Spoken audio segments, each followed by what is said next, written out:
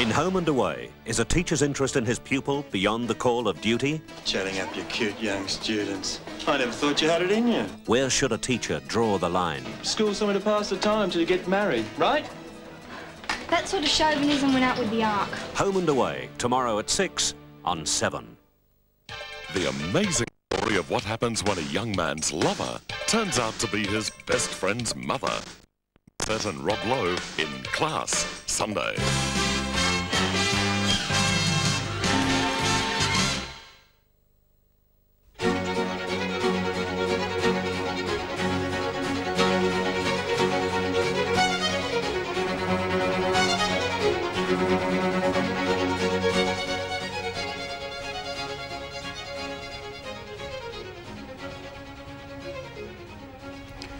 Good evening. Al Grassby has rejected allegations made today in a Sydney court that link him with a former crime boss, the late Robert Trimbole.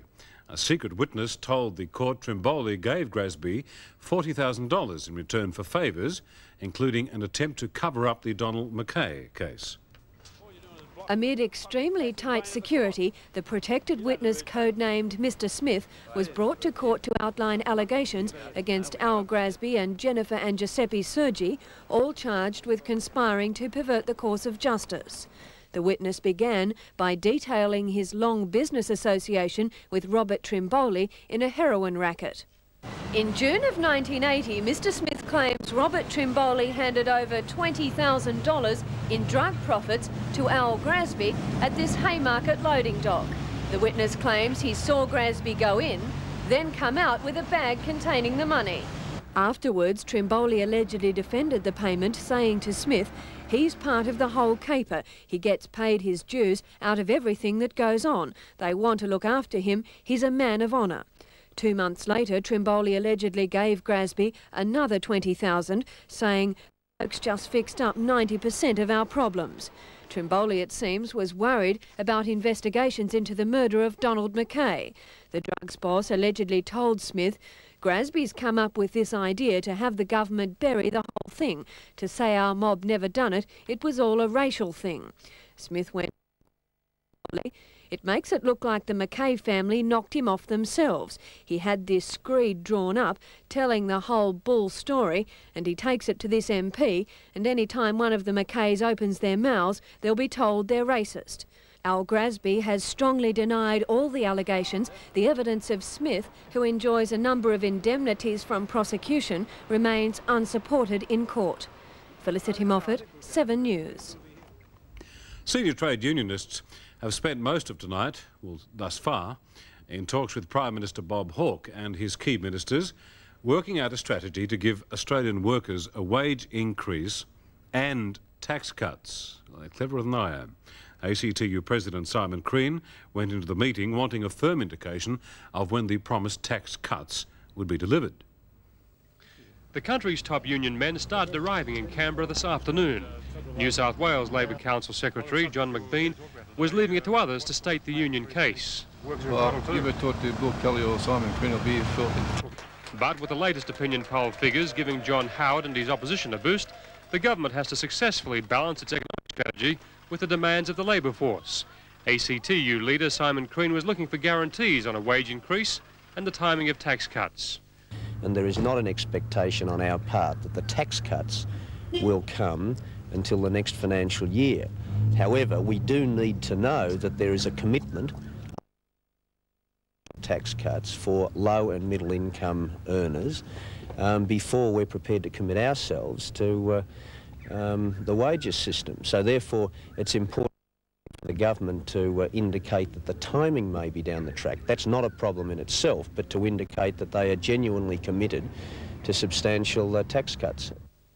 The talks dragged on for some time, but the most likely outcome will be a push for a 6% national wage increase and the promise of tax cuts to come next financial year. Tonight's talks are always expected to be inconclusive. We'll probably know exactly what was decided when the Treasurer brings down the May economic statement detailing the government's plans for business and personal tax cuts and their latest plans for wage restraint. David Jones in Canberra for News World.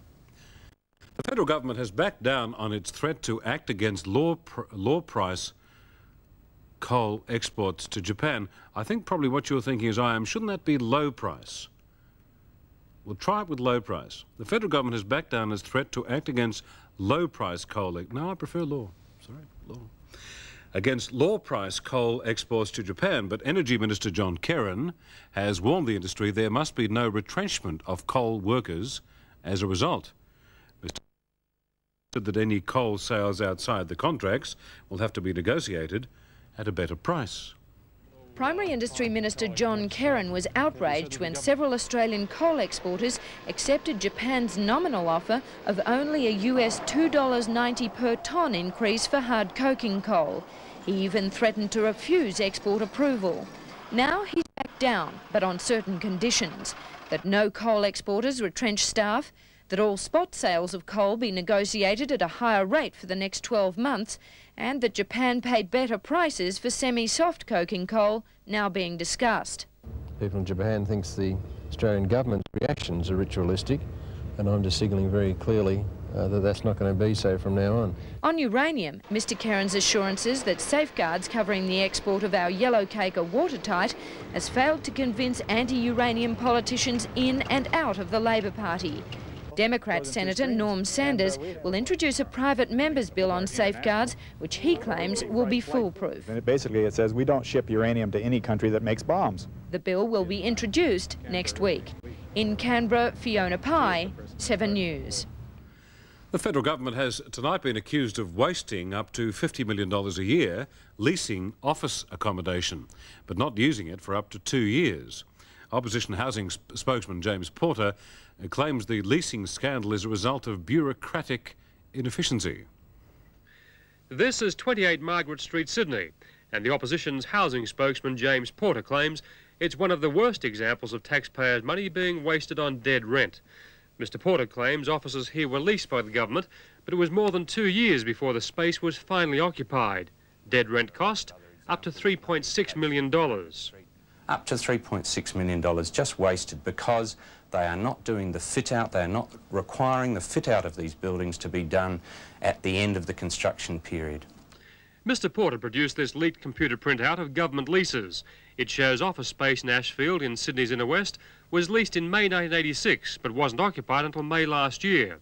Another property at Lithgow was leased in May 1985 but wasn't occupied until August last year. And a property leased in Wollongong as far back as June 1985 was finally occupied only last December. Although most examples are in New South Wales, Mr Porter claims the dead rent problem is a national one. Oh, I'm sure it is. The, the problems that have been identified to me uh, in Sydney, I'm sure are occur occurring elsewhere. And uh, on our estimate, uh, we're looking at a, a, loss of about $50 million a year. For its part, the government claims Mr Porter's figures are rubbery at best. A spokesman told me a short time ago that each year the government pays out $355 million to rent premises right across the country. And of that, $4.5 million is in dead rent. But the spokesman says there are very good reasons for that dead rent being paid, and the government's record compares favourably with that of the private sector.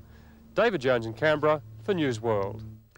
I remember when I worked for a non-commercial government broadcasting network, who shall remain, his name shall remain anonymous for the story. Um, there was a certain building, they had about 50 buildings in Sydney at the time, and um, they were putting some wonderful new technical gear in, and I'm interested in technical gear, and I went and chatted the blokes, and they said, gee, we've got to get this done by next month. I said, why? Because the lease runs out, we have to get out of the building. And they said, don't say it. So I didn't. I'd like to say it now, but I won't. Just thought I'd mention there are other places that have managed to use your money and my money quite adventurously, I think is the word we're looking for. The full dimensions of Melbourne's so-called Werribee scam are gradually emerging. It's possible the amount swindled might be as much as $400 million. It's just eight days since the National Crime Authority made its cryptic announcement on the Werribee Farm scam. At that stage, it was estimated the scheme could have cost investors $40 million. Since then, our investigations have come up with a long list of people who've had their fingers burnt. The money individuals have lost rolls off the tongue like First Division prizes in Tattslotto. A city solicitor, $800,000. A Melbourne businessman, again $800,000. An eastern suburbs couple, $400,000. A taxi driver, $160,000. A suburban solicitor, $100,000. The Werribee scam has simply exploded. I now know it wound its way across Victoria to farmers and businessmen as far away as Coffs Harbour, branching out to Grafton and Griffith on its way. The whereabouts of the man the NCA wants to speak to, the elusive Joseph Anthony Talia, is still a mystery to police. My contacts say he was in Melbourne yesterday. Others are certain he's in Switzerland. But a look around his former home in Templestowe gives a glimpse of his high-rolling lifestyle. The pool and the tennis court dominate the property. The security cameras are covered with cobwebs. Gardens remain manicured. The events of the last few days have made a lot of people nervous, and many have decided to spill the beans to the NCA. Lena Kaniva, 7 News. American Secretary of State George Shultz has opened two days of crucial talks with his Soviet counterpart, Edward Shevardnadze, in Moscow. They're trying to reach agreement on a treaty that would cut by half the number of nuclear weapons in their respective arsenals. With less than six weeks to go before the summit, Secretary of State Shultz and Soviet Foreign Minister Shevardnadze are running out of time as they try to put together a strategic arms agreement. Both superpowers want a treaty reducing the arsenal of intercontinental missiles, but concessions and compromises have been slow in coming. So slow that American officials seriously doubt there will be a treaty for President Reagan to sign when he comes here. But Shultz says he does have a few ideas to offer the Soviets, ideas that Soviet negotiator Viktor Karpov hopes will break the logjam. We expect that Mr. Shultz will bring something to untie the knots that we still have in the preparation for the 50% reduction treaty. Today's meeting comes in the afterglow of last week's Geneva Agreement committing the Soviets to withdraw from Afghanistan. American officials hope the Afghan Accord will be the first of several superpower agreements to cooperate. Sydney took another step towards a petrol shortage tonight. 75 striking storemen and packers were ordered to return to work at Shell's Rosehill terminal in Sydney at 10 o'clock. However, as our pictures show, no one turned up and they now face the sack because they're objecting to company plans to have drivers rather than storemen load the tanker trucks. Uh, some Shell service stations in Sydney are running low on fuel supplies.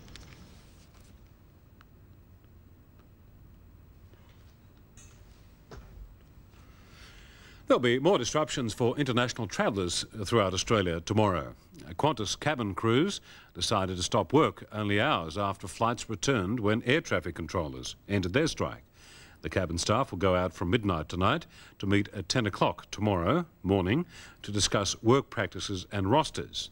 Qantas is now rescheduling 27 flights and trying to contact 5,000 passengers who'll be affected. Wouldn't you like the job of ringing up all the people who'll be affected? After about 4,300, you'd want to throw the towel in. More after this.